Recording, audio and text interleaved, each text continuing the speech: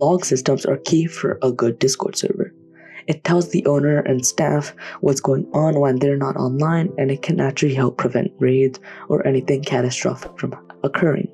That's what I'll be teaching you today how to add a log system into your bot.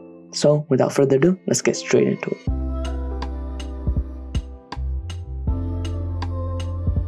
Here I am in my Visual Studio Code, and I'm gonna start off by making an event. This is all gonna be an event, and we're gonna be making two. It's gonna be message delete and message edit. If you want more, because I don't know exactly what you guys want, let me know in the comments and I'll make those for you. And I'll make a video on that if enough people want it.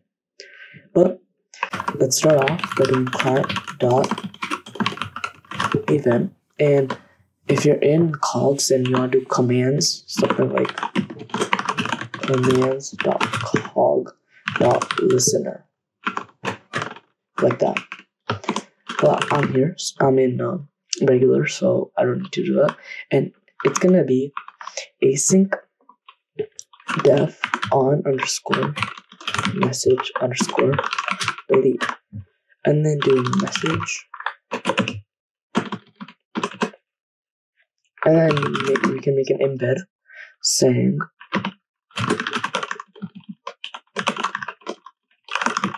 dot title and this can be anything so let's just do f string it. And a little thing here you cannot mention end user in the title. So you want to do something along the lines of message dot author dot name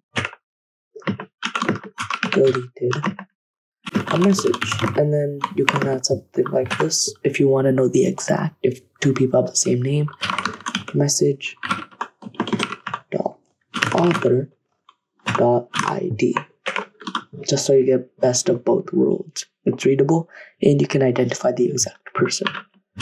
And then add description and this will just be message dot content. But first but you want to also surround this in i guess the code text. So just do key right there. So it should look like that.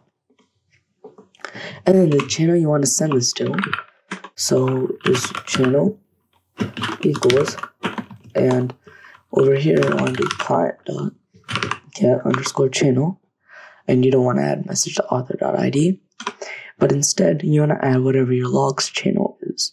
So I'm gonna leave that here for now uh, and then we can do that towards the end. And do oh wait channel dot send embed equals embed. Mm-hmm.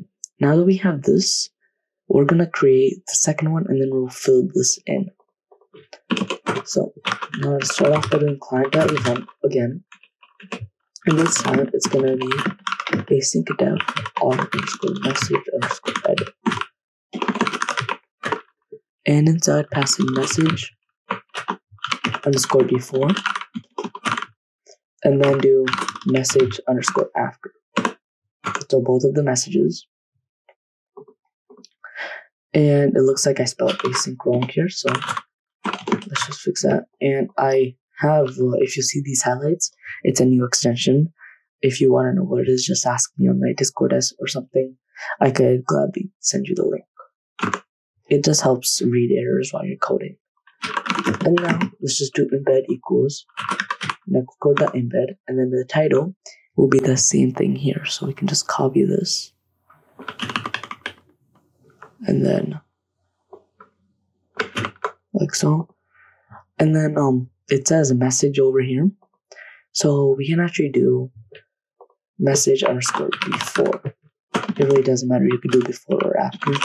I'll just do before.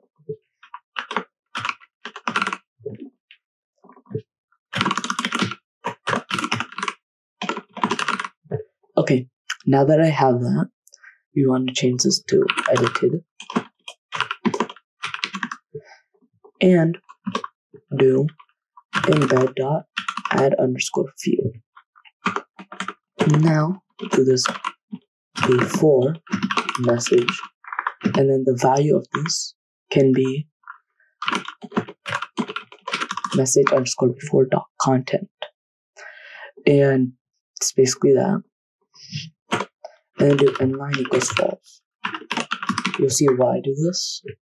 Because it'll just be easier to read.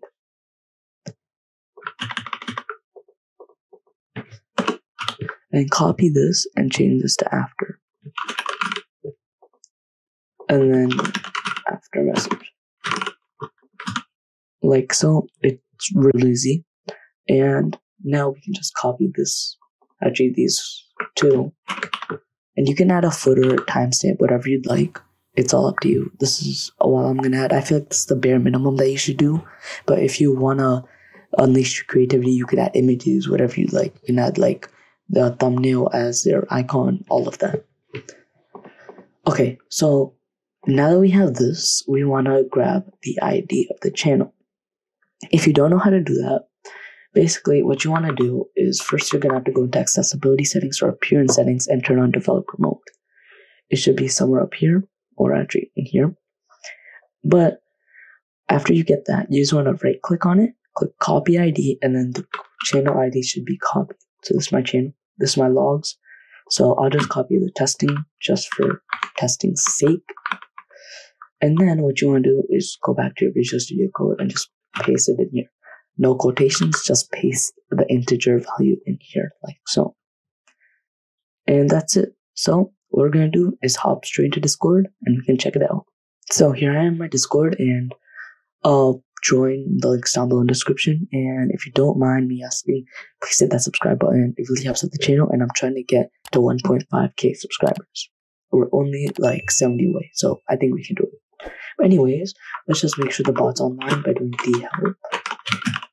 And it shows up the default help command. That should be good. And we don't have any commands because these are all events. These are just gonna run when this happens. So we're do to list. Let's say someone deletes that. It'll pop up right here. So it's say glowstik underscore has deleted a message, which is my username. My ID. If I copy my ID here, that's my ID. It matches up. And there you go. And then it shows a message. Let's say somebody says, subscribe to Glowstik, but they actually mean like the video. It'll say, Glowstik has edited a message. Before message, subscribe to Glowstik. After message, like the video. And I mean, yeah, it's pretty simple. That's it. You can add the things that I added here if you'd like. I didn't, just so it's easier to read, or you can just see how it looks like without it. But yeah, that's gonna be it for today's video. I really hope you enjoyed. It was um, a pretty fun one to make. Palp suggested it to me, who is um, a member of my server. So yeah, thanks for watching. Until next time, go out. See ya!